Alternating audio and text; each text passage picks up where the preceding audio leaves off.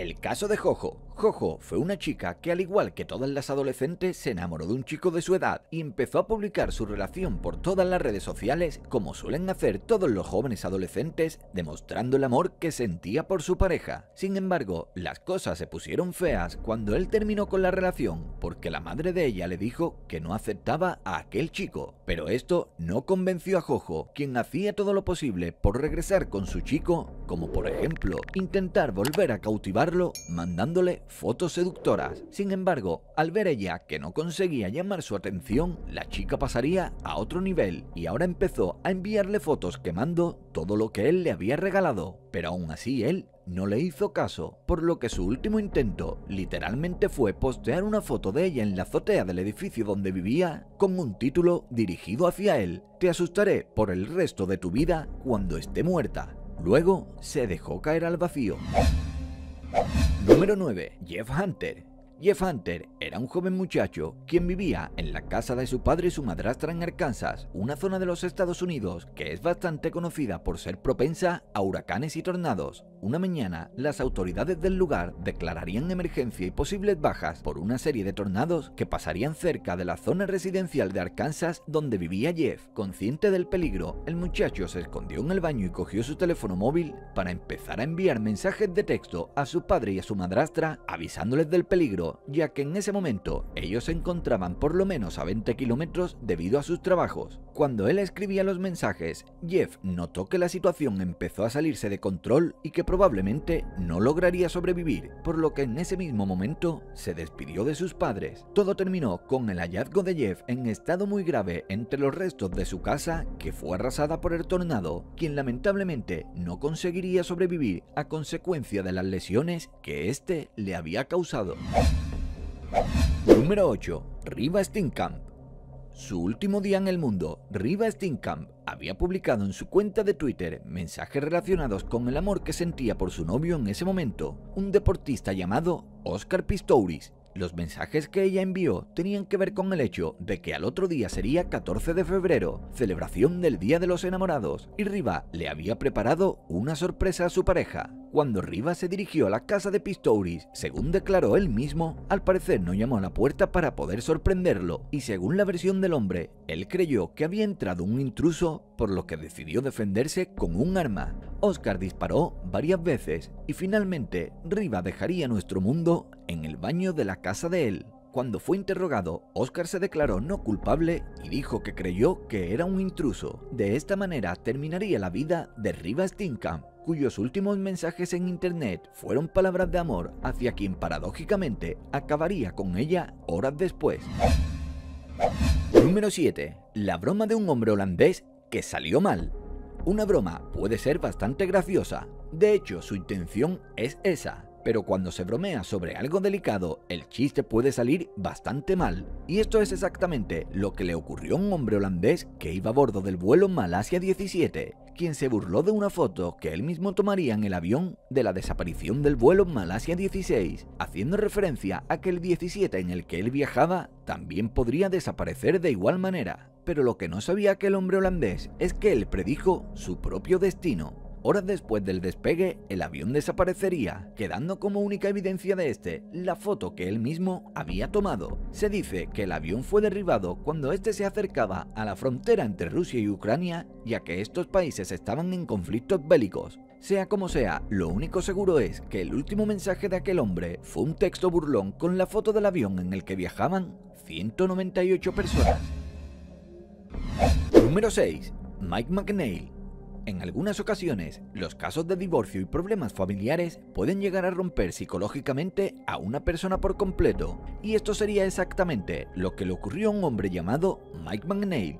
En un día cualquiera, desesperado por el divorcio de su mujer y en aparente estado de embriaguez, Mike entraría a su Facebook y ahí mostraría algunos tanques de propano que había comprado y que tenía en su casa. Y no solo eso, además afirmó que esa iba a ser su última foto. Y de hecho, así sería, ya que a las pocas horas de su publicación y por casualidades del destino, la policía recibió una llamada de la esposa de Mike asegurando que estaba con su hija fuera de casa sana y salva, pero que había habido una explosión casi a una milla de allí y entre los restos las autoridades encontrarían el cuerpo de Mike McNeil.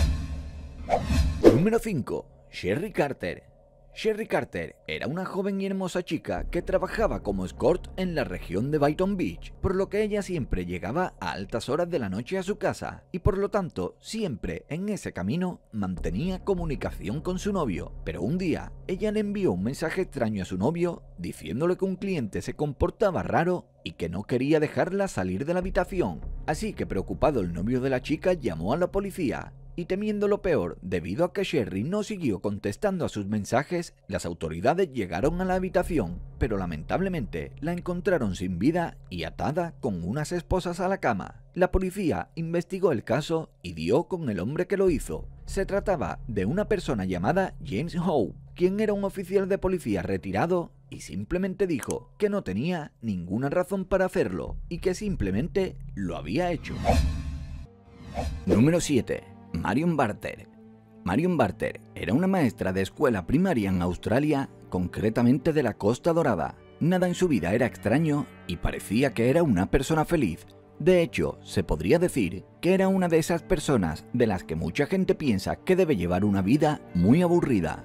Aunque realmente eso cambió cuando se divorció por tercera vez a mediados de la década de 1990 Concretamente, en 1997, ella vendió su casa sin decir nada a nadie y se fue de viaje a Inglaterra prácticamente sin pensarlo. De hecho, su familia no recibió noticias de ella hasta unos meses después, cuando dejó un mensaje en el contestador automático de su hija Sally. Marion luego volvió a llamar desde un teléfono público diciendo a su hija que estaba tomando té y bollos con algunas ancianas y que a diferencia de lo que ella pudiera pensar, se lo estaba pasando muy bien.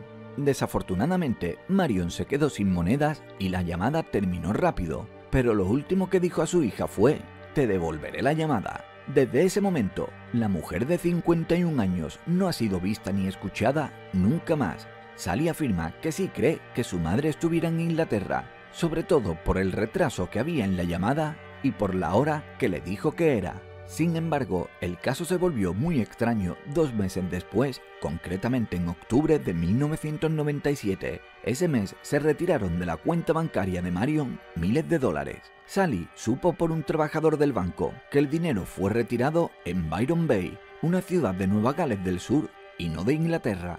La policía de Byron Bay nunca encontró ninguna señal de Marion y el caso a día de hoy permanece sin ninguna explicación.